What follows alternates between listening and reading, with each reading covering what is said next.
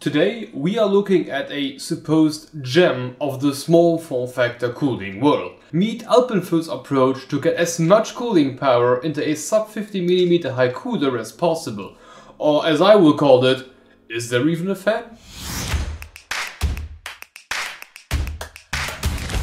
This is the Alpenföhn Black Ridge, a both tiny and huge small form factor cooler measuring only 47mm in height out of the box. The cooler was originally designed in a partnership between Alpenföhn and Dan, the, the case company, and knowing how the cooler works and how it's designed to fit into the case, many decisions that Alpenföhn made during all of this make a lot of sense. But before we get into any specifics, let's go over the standard stuff, you know, like out of the box. Ooh, that transition. Out of the box, the Black Ridge comes in a neat packaging where every screw got its own little spot in the styrofoam. Yes, yes, very, very satisfying. On the compatibility side of things, the Black Ridge can be installed on top of an AM4 socket on AMD side, and on every LGA 1150 and 1200 on Team Intel. As for now, I'm not aware of any LGA 1700 upgrade kits, but who knows. But while we're at it, let's go over the installation. The installation procedure for both AMD and Intel are surprisingly similar. We need to rotate the cooler and install the brackets onto the base. The ones engraved with AMD for AMD and who would have thought, though other ones for Intel. Both brackets need to be installed in an outwards pointing orientation with the ends pointing away from the base and screwed in using the tiny screws that were so neatly packaged up. From there, on both platforms, position the cooler with the heat pipes coming out at the top of the motherboard and screw it down from behind it using the bigger screws. The reason you want to have the heat pipes be at the top is that the cooler is not symmetrical. This would then create major issues on the RAM side or even worse on the VRM heatsink portion. Okay, with the general stuff out of the way, let's get to that insane amount of use cases or mini customizabilities that Alpenföhn built right into this puppy. For the heat transfer, Alpenföhn made use of a pretty big copper base with 6 heat pipes shaped in a C shape and connected to that enormous black painted heatsink. And this basically also covers the design aspect of the cooler, like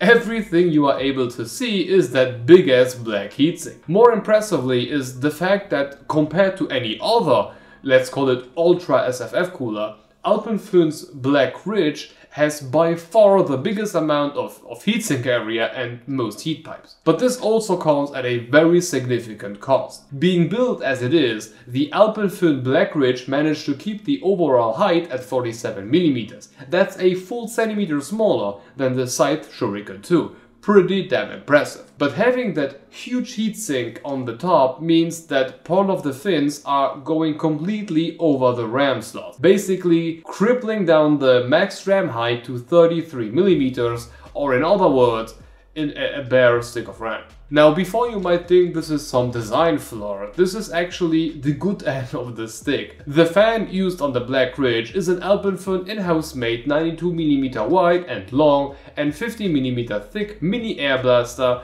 capable of spinning at up to 2800 RPM while pushing around 47 CFM and being controlled by PWM. This little air horn is installed on the bottom side of the heatsink pushing the air up through the heatsink. The fan can simply be removed by unscrewing the four fan screws that are keeping it attached to the heatsink. The reason why I said this would be the good end of the stick is the fact that the fan is only 92mm wide, which even then allows standardized RAM sizes like 33mm to be installed. Inside the packaging we will also find two sets of fan clips. One of them can theoretically be used to replace the existing fan with a 120mm wide 50mm thick fan covering all of the heatsink's bottom side and creating that performance mode. Now of course this would mean a huge performance win but at the same time this would also severely cripple the supported RAM size to something called VLP, very low profile. And yes, I, I believe we can all agree that this just looks wrong. Unfortunately, I do not own any VLP RAM, so we will just need to use our imagination on this board. But if you don't want to use a 120mm fan on the bottom side, basically creating the RAM version of our friend over at TLC, we can also use the fan clips to mount a 120mm 50mm, 50mm thick fan on the top side of the cooler. This allows us to keep using the heatsink-less 33mm high RAM while enjoying much better cooling. This of course then also hits the cooler a bit in terms of height. Um, at this point we will be looking at around 62mm, which is still very ultra small form factor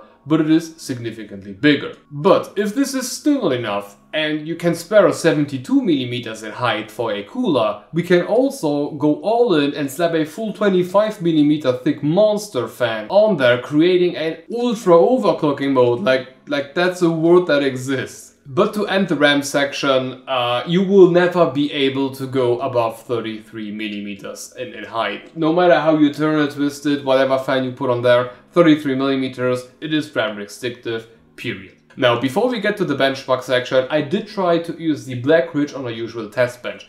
Unfortunately, with that tiny 92mm fan, it did not manage to finish the test, even at full blast. But that was pretty foreseeable. I mean, this is a 3900X and this is a 92mm fan, but in the end, this just meant that I needed to use our Ultra SFF bench setup using a 10700K to test this puppy. On a second note, I do not own a 15 or nor 25mm thick Alpenföhn fan and this means that for the part where I'll be will be checking out how far you can upgrade the cooler, we uh, will be using my Noctua fans because that's just how it needs to be. Anyway, in its original state with that tiny 92mm fan, the Black Ridge managed to keep the 10700K at 61 degrees C above ambient. Yikes. You might think that this result isn't that bad, after all it's just as good as a Noctua NH-L9i, which also uses a 92mm fan, but don't forget that the that heatsink to heatsink, these two are nowhere, nowhere near the same level. Knowing how these two compare optically makes this kinda ridiculous. But things do not get any better from here. Comparing our results after noise normalizing them, we can see that temperature-wise, the Noctua and the Alpenföhn Black Ridge are basically equal. The Black Ridge is just offset by about 5 dB at every step. Overall, this is really not a good result, not at all. Considering the huge heatsink and, and six bloody heat pipes on here, I've expected more, much, much more. But there is something that is causing this, this fan. Now, I believe that this little 92mm big fan is the very reason why the Black Ridge turned out that bad and I can kind of prove it. After removing the mini fan and installing one of our Noctua NF-A12x15s on top of the heatsink, because I still do not own any VLP RAM, we did re-benchmark everything. This time the Black Ridge completely annihilated every other Ultra SFF cooler in our benchmarks and kept the 10700K at 45 degrees C above ambient.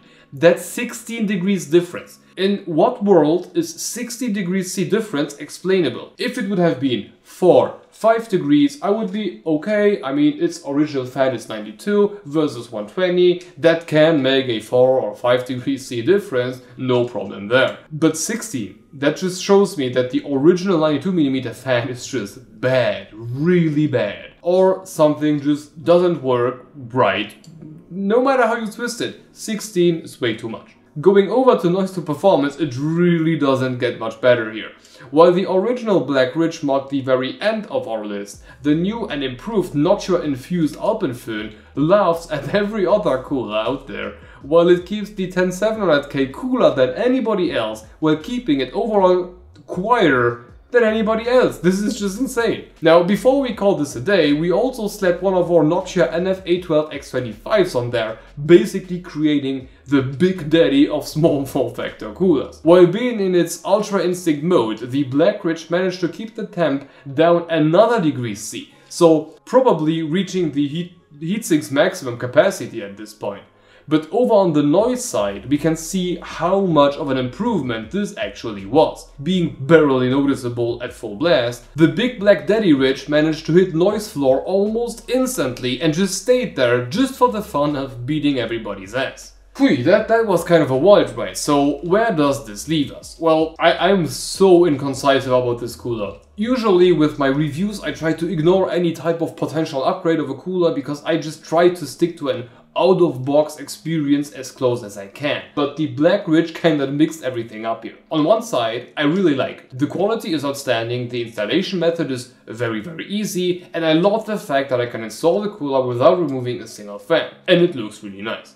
On the other hand, no matter how you look at it, 33mm RAM restriction is pretty hard, and I do not even count this as an useful option in 99.9% of use cases out there. But the major drawback of the Black Ridge is really, really bad performance, or in other words, this fan. After having the cooler for a couple of weeks now, I, I do absolutely not recommend to get it as an out-of-the-box cooler. Looking at the benchmarks, this is just bad.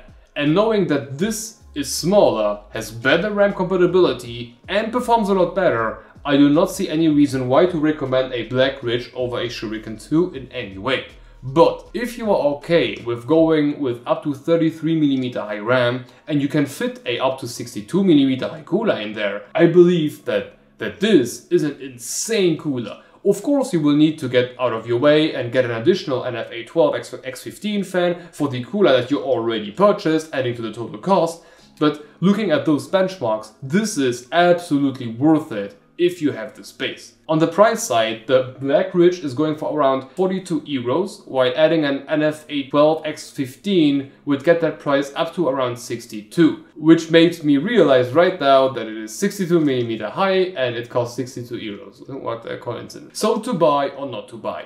Just as a cooler, absolutely not. Tuning with a Noctua fan, oh, oh yes. And this also segues into the could have been better section. The heatsink installation and all of that is perfectly fine, just that fan is kinda bad and it is in dire need of replacement to not end up at the bottom of our benchmark list. And this should be all for the Alpenföhn Black Ridge. I hope you enjoyed it, but if you want to keep watching, have a look at our take on the Alpenföhn Brocken 3. And on a side note, we also have a Discord server, so if you want to join and, and talk about random stuff, use the link in the description below and join us. Anyway, thank you for watching and hope to see you in the next one. Bye bye.